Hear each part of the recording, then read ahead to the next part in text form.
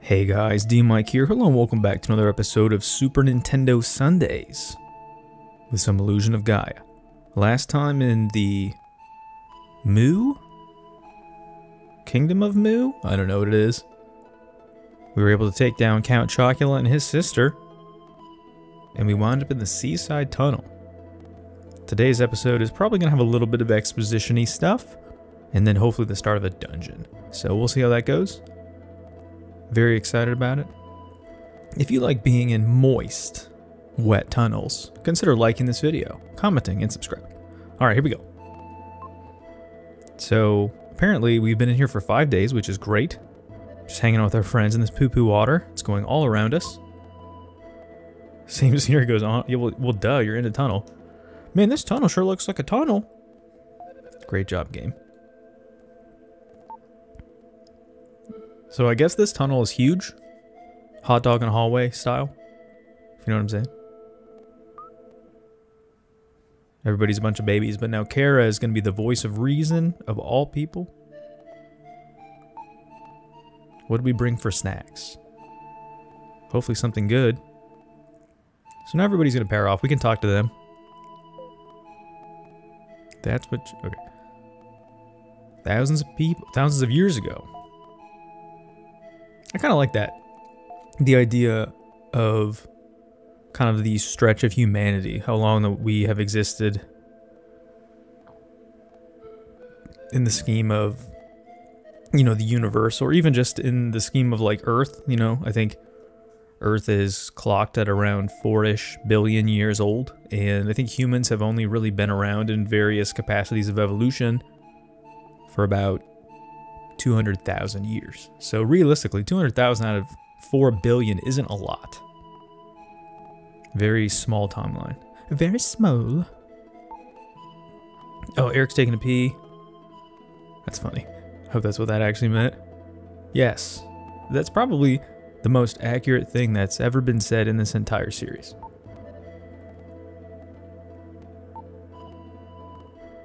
Interesting. Yeah, this game likes to be a little introspective about history and how that folk how that functions. Also, I like the dripping effect. It's kind of laid on as it's definitely a layer. It's not there's no 3D component to it. It kind of looks like it is, but what they did probably is just scaled down some of the drops to be further in the background to look like they are or they're just scaled down in size to look like they are further in the background. I want a steak in a salad. I would love a steak in a salad. Skin has gone dry from eat. Well, what are we eating? What are we talking about here? All right, so enough griping. Apparently we're friends with a bunch of babies. Oh, we've been eating mushrooms. Yesterday baked mushroom, the day before boiled mushroom. All right. And tomorrow purple mushroom. I mean... All right. So we're struggling right now. Um, we're not doing great. And, uh, but we gotta do what we gotta do to survive. This is what humanity has thrived on for thousands of years the will to survive. Get it?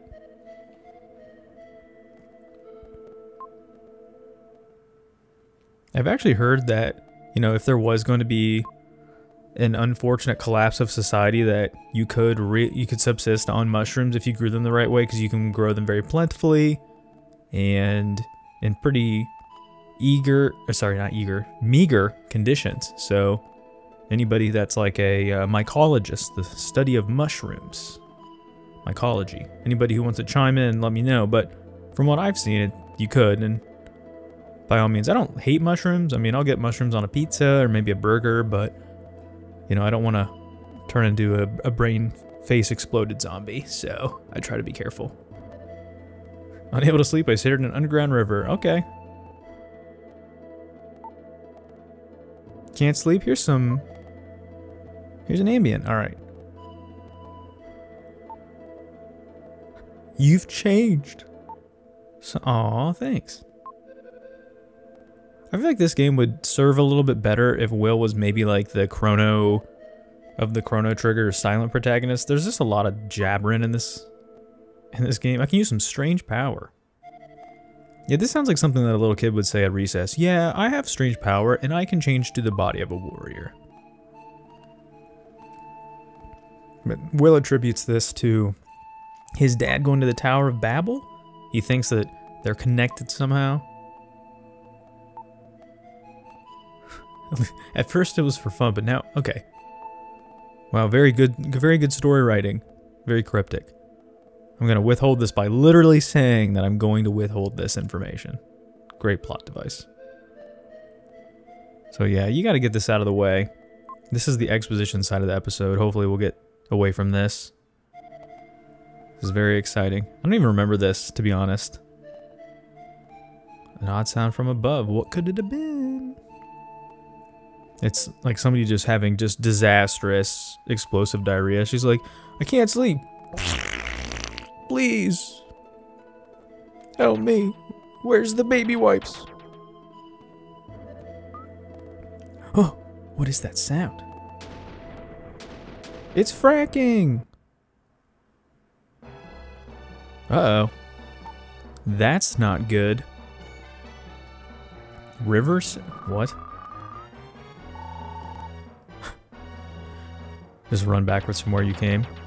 Okay, so apparently they're all convinced that it's that giant fish that swallowed Seth eons ago. This vibrating sound. Oh, it's Morse code. Like he just knows that. He's like, all right, so there could be a giant fish, or it's ships trying to communicate with each other. SOS. Whatever. This is ridiculous. And I don't know if this is actual Morse code. I don't know it, so. Oh, it is Seth. He's communicating from behind beyond the grave.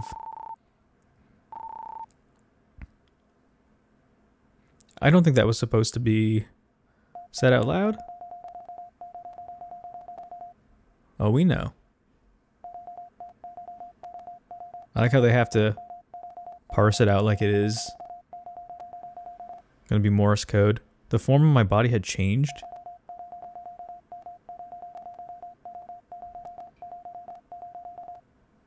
Okay.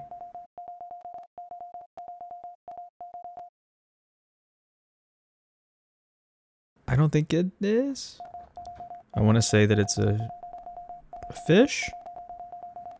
Evolution is oh, okay. So this comet that is in the sky apparently is causing effects to everything. I would like to get this over with though. I wanted to continue the journey with you, in parentheses, not Kara, but not in this body.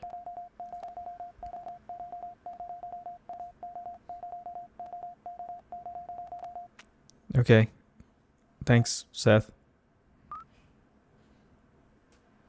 So Seth is a giant fish now?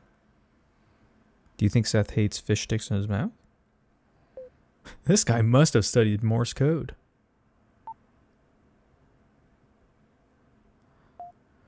Yeah, I don't know what's going on right now. This is a very strange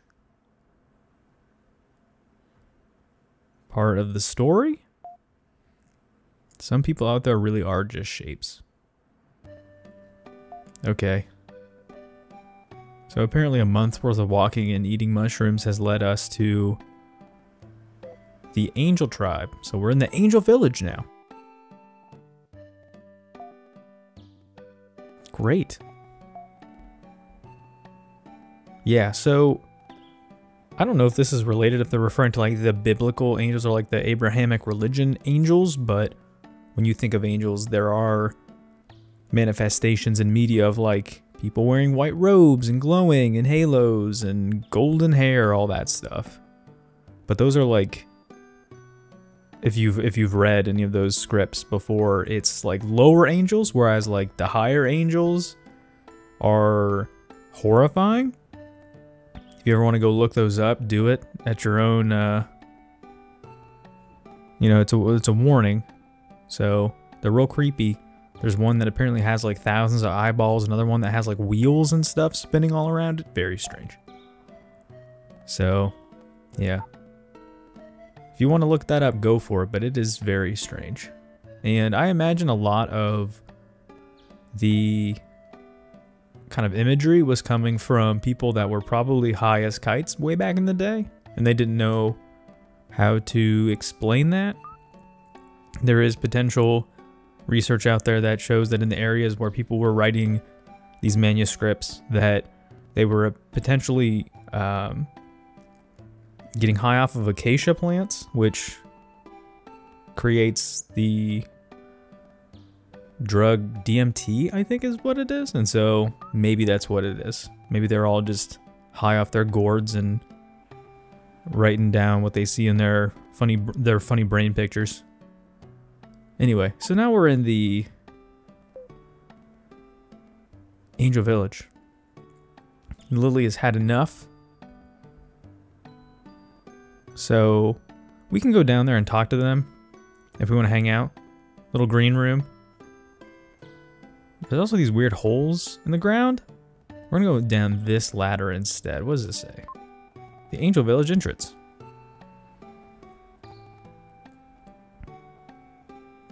So this, I believe, is one of said angels. Hello? Okay, so you guys are also vampires. Or redheads. Okay, so let's see. We're going to... What is this? What is this? I don't know. Those are stairs, obviously. Okay. Maybe that just makes them have to pee. Okay, so this is a lady angel. She's got her hair up. We have no emotions, like most people I know. Alright, that sounds pretty miserable. Hopefully you get some help.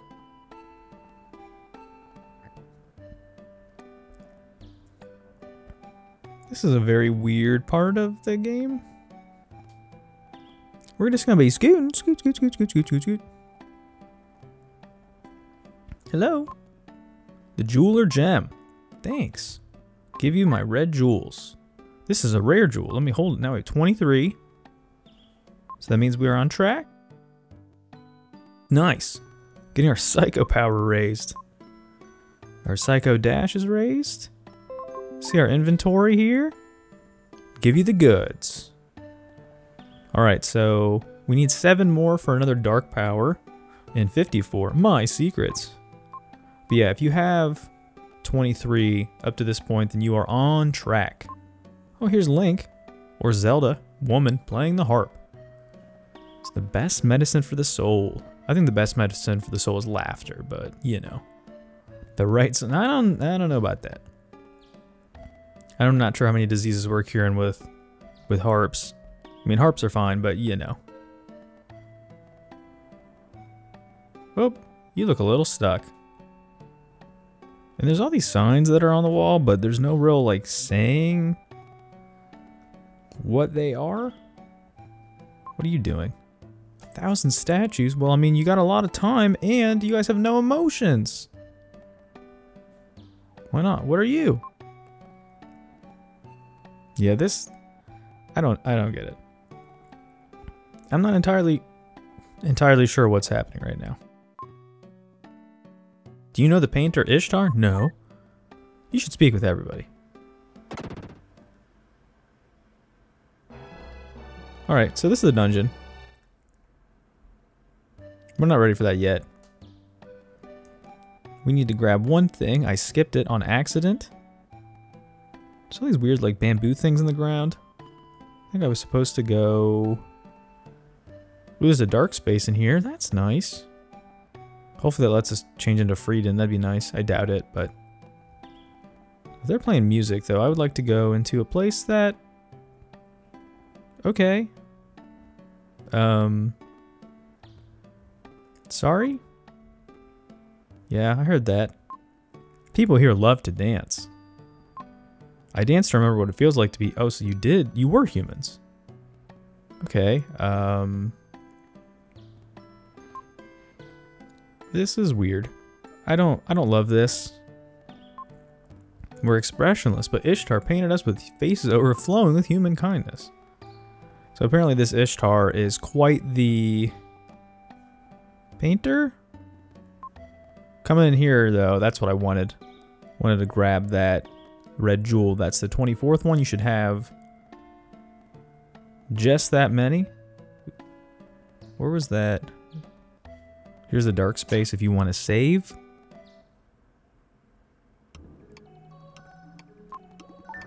Not that I really need to do that, but... You know, because I'm pretty awesome. Alright, so let's go and do a few minutes of the dungeon. I do like Will's sidling animation. Do you know Ishtar? No. But we're gonna break into his house. Alright, so here we go. These are stronger versions of some of the enemies we've already fought in the beginning of the game, but these ones obviously are a little bit more more better.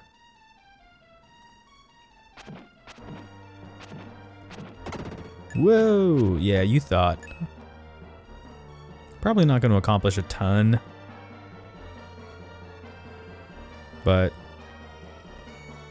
Yeah, what an exciting start to this dungeon. Looks like eyeballs. Ah. And don't forget, you do have the Psycho Slide to do a little bit of bonus damages. I can confidently say that when I first played this game, I don't think I used any of the techniques. Period. It kind of reminds me of like on my old channel, when I would play games, especially like RPGs. I know that I did like, at one point I played a, a Dragon Ball Z game, and uh, there's all kinds of techniques that they learn in the game that they do on the show. I think I used about none of them. I'm like, I'm just gonna go punch, punch, punch, punch, punch. I think back then I just didn't quite understand. Well, I have a nice amount of gems first. Um, I just don't think I quite understand. I understood. Can't speak how to present a game in the sense I don't want to pretend like I do now, but I have a better idea. You know, you're supposed to show off things a little bit. Maybe not everything, because there's plenty of things in games that people show off where they show off too much and then it's boring to watch, so. Alright, so we're doing pretty good. I'm going to go a little bit further. There's all these skeletons here, just hanging out. And we're a little bit stronger now. You can see that we're doing 11 per hit. Let's check. Yeah, the, whoa! That is a hecking ton of enemies. I don't know if you're required to kill everything, but I'm going to. I have a thirst. Oh, I don't even know what that is. It's a weird butthole monster. I don't like it. Whoa. Seymour, feed me. Whoa. Kind of weird wiener neck monster. Not a huge fan of that. Can I do the psycho slide up? Oh, I can. Nice. Hey, hey. He's just really, he's just hanging out and we're just kind of, we're just murdering him ruthlessly. Hi. Are you well? Do you want to come hang out and join my board game club? And we're like, no. We're here because we have a taste for blood. Whoa. Yeah, I would say of all the dungeons in this game, I remember this one the least. I actually didn't even know that there was one until I started to do my researches for this episode. Yeah, I got no recollection here of what is happening, but that's okay. We're moving and grooving anyway. Alright, this looks like We haven't cleared out everything. You can still see those skeleton boys down there. I have a good idea of where I want to stop, but maybe? There we go.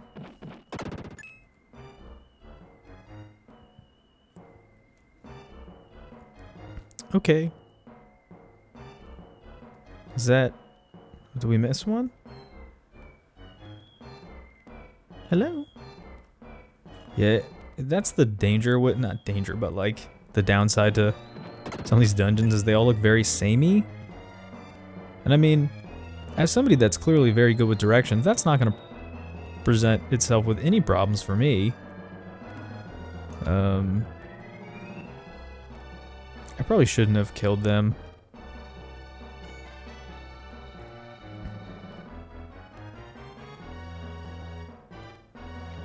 Now I don't know where I'm going. Yeah, that wasn't very smart. It's hard to know what's down. I think we're heading to the basement of this dungeon. Okay, this looks right. Whoa. There's bats in the sky. I don't like that. Whoa, hello. Kind of like tropical freeze silhouette monsters. Okay. Yeah, this is very exciting. Whoa, hello, hello. There's a couple of you. Ooh, power upgrade. We like that. Thank you. We should be doing 12 damage per hit now, I think. Oh, there's a fountain in here. Okay.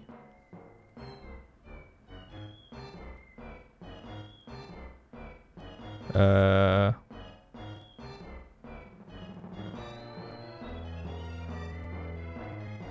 Okay.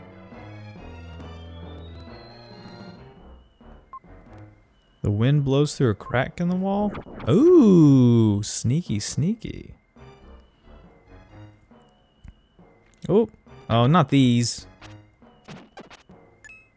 These things are doing a number on me. Can I kill you?